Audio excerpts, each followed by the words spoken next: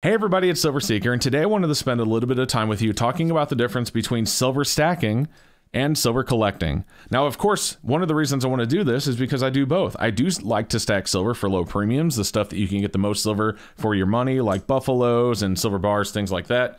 But I also love how beautiful silver can be, and I love when they put some really cool designs on silver, like the wedge-tailed eagles, for example, right here. And of course, I'm into some IPs, like I like video games, so Tetris and Sonic appeals to me. So I do collect some of the higher premium silver, as well as stack the low premium silver. And so I wanted to talk to you about why both of those are different, but also why they can be done together. And then at the end of the video, I wanted to share one more thing with you. If you guys haven't seen some of the really cool stuff that's very special to me in this video, I'm going to share with you some of the stuff out of my own collection So if you guys are interested in that, feel free to stick around till the end of the video and I'll show you a few things from my personal collection. But before we do, don't forget to go down below, make sure you are subscribed. It really helps the channel out if you do. Additionally, don't forget to hit that like. It helps YouTube recommend this video to others.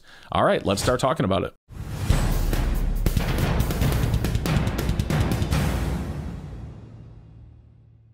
Okay, so what is silver stacking? Well, of course, like I kind of said at the beginning of the video, silver stacking is the attempt to collect as much silver as you can for the least amount of money that you can spend.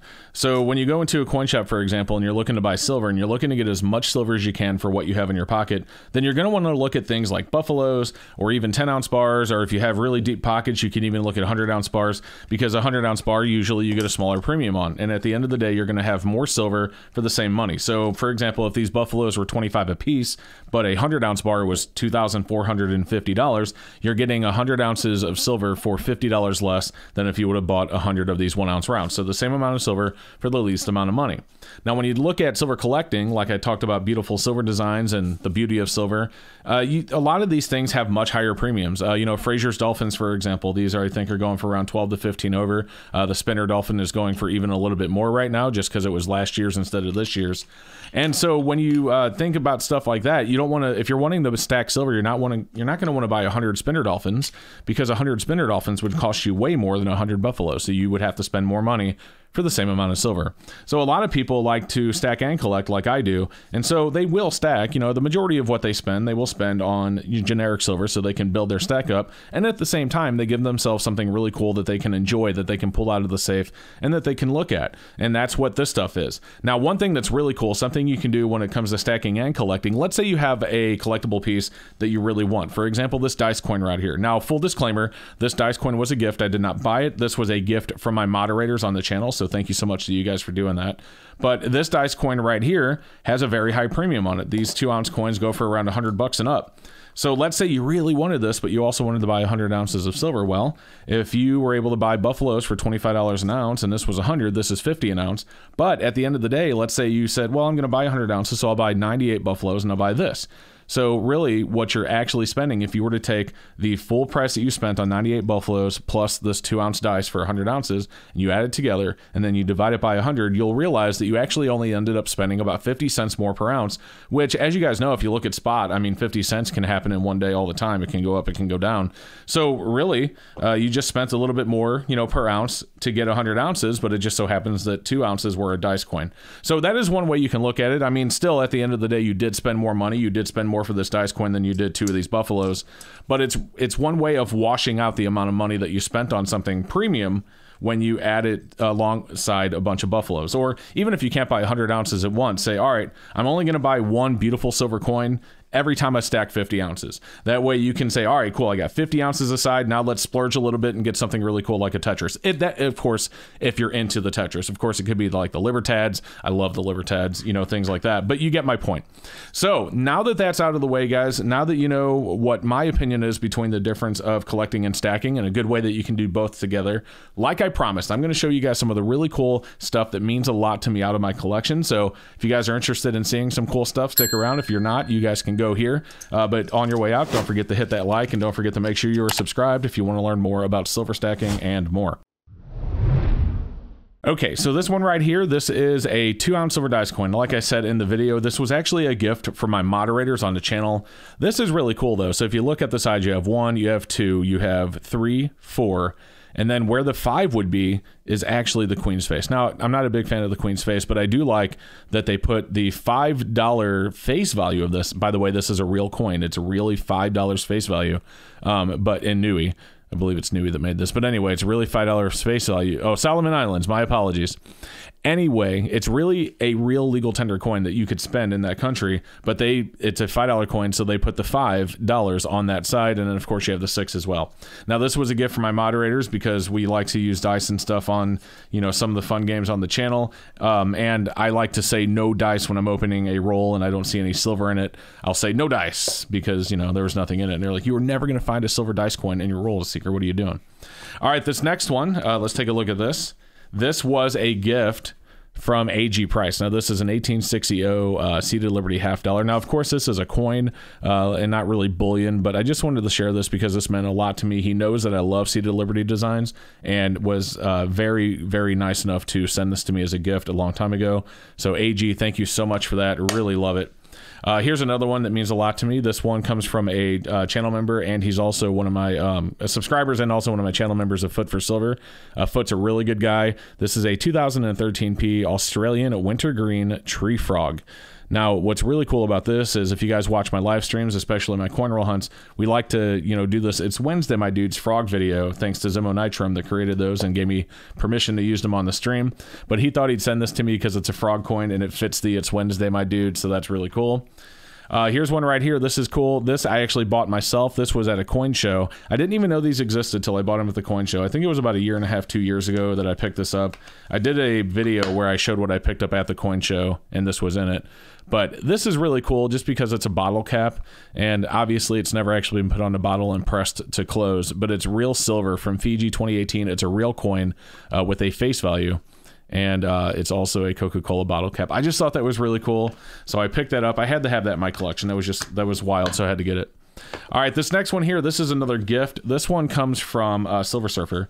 So Silver Surfer, thank you so much for this. And guys, this is really cool. I want to share this with you because the serial number is wild. So sorry about that. It took me a second to get out there. But this is a Superman shield logo. Take a look at this. It's a one ounce silver.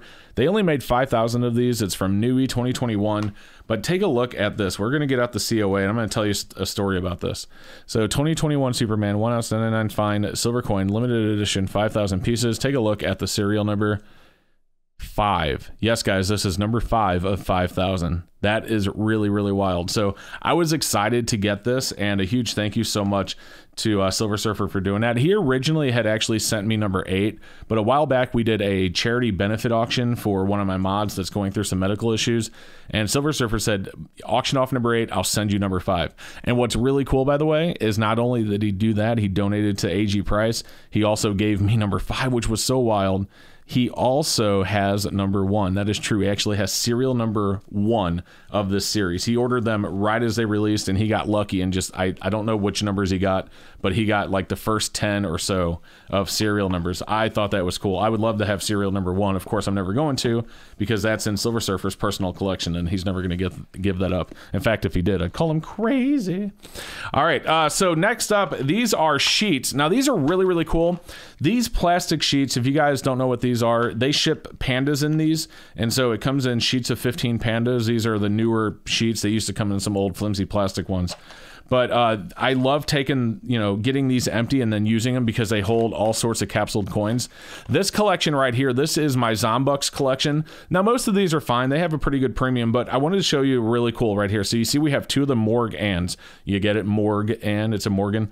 But one of these is the Air. So if you take a look at this one, it says one ounce 99 fine silver. We'll turn that around. One ounce 99 fine silver. But if you look at the one next to it, it actually says one ounce 999 fine copper. So I actually have the copper Morgan. Uh, this is actually a silver coin. It just is stamped copper. I don't know if they messed up on the die because, you know, the die is the right size for silver. It'd be a little bit off for copper. So you got me as to how that happened. Maybe they did it on purpose just to have a rarity, but I do have one. It's really cool. Those things go for insane money, like 300 bucks a piece. I'll never sell it. The only I've actually had two in my life. The other one went to Silver Jackal, uh, which is another channel mod. So Silver Jackal, that is really cool. He has that in his collection. Uh, this one right here, this is another sheet. You know, I have a lot of the Marvel coins, but what, what I wanted to show you in this one is this old Spider-Man. Now this one is like 80s or 90s and a really, really cool Spider Man silver round. I think that thing is awesome. Flip it over to the reverse. It has, you know, some info on the reverse. It has a serial number. Uh, this is cool. I really like this one. Now, of course, we have the more modern Spider-Man coin, and then in this one we have some Kookaburras. I like this one. This has the Panda Privy. Uh, you know, we have the Back to the Future DeLorean, all sorts of stuff. And then we have a couple more like that. You know, this one right here. I like the, like I said, I like the video game stuff, so I kept a few of those. There's actually another. Uh, that's the uh, Feast Dollar. You know, things like that. So these sheets are really cool and uh, they're really good for storing capsuled silver coins. So if you can ever pick them up, if you're ever at a show and you see someone selling pandas, ask if they have any of these they don't want to take back with them. Maybe they'll give it to you. All right, the last thing I want to share this is the most important coin in my collection. This coin means more to me than anything else I own uh, in, as far as my silver collection is concerned. And I'll tell you the story behind this. Some of you may know it because I shared it on the channel a couple of years ago. But this is an 1879 O Morgan silver dollar. As you can see, NGC certified that this is Unc details but had artificial toning. Now, back in the day, my father and I, my late father and I, used to actually have competitions where we would, you know, grade coins. You know, I'd take the coins and I'd grade them, and then he'd take them and he'd grade them. We'd hide our grades, and then we'd send them off. And when the grades come back, we would compare to see who had the better um, grade, you know, grade average. In other words, who graded them the best and got back the best results. So, like, let's say I graded one and, and at MS64 and then NGC sent it back and it was MS64. I was right. Anyway, we'd see who was better. So, um, when this one came back, my uh, father was really upset about this because he was really excited about this coin. He wanted to see what it came back. And if you noticed, the tone, the reason they said it was artificial, I'm guessing, is because it doesn't go to the center. But what this actually was, this was sitting on the top of a roll and the air was getting to the outside rim, but in the center where it's white, that's where they had a little piece of paper. It was in like a plastic roll, not like this exactly, but just an example. And you know, they had a little piece of paper in there that held it so that when the roll's moving around, the coins didn't bounce around and scratch each, other up. Well, the air was getting around the, the outside, but didn't get under the piece of paper. And so that's why it toned that way. And when it came back artificially toned, my dad was so upset. He, he he just felt in his heart this was a real tone. And honestly, I do believe it is a real tone. And we were actually going to crack this and send it off to PCGS, but unfortunately, about a month after this came back, he found out that he had lung cancer.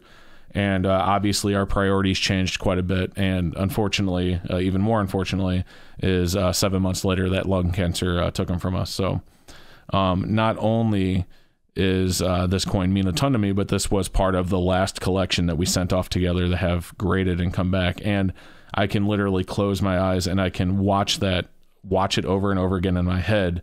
Um, just exactly how it went down when we took this one out of the box and saw that. And I can see his reaction. I, I remember his voice. I remember the words he said.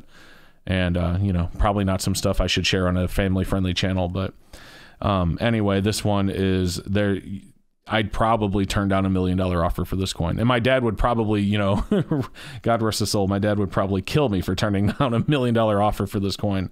But I think I'd have to turn it down because this coin means more to me than money. So, um, anyway, that is uh, just some of the really cool stuff from my collection. I hope you guys enjoyed me sharing it with you. Um, do me a favor, guys, if you did. Again, don't forget to go down below. And make sure you're subscribed. It really means a lot. Uh, helps out the channel. Don't forget, again, to hit the like button. That also helps out the channel by recommending this video to others. And uh, with that said, guys, thank you so much for watching. I really appreciate it, and we'll see you next time.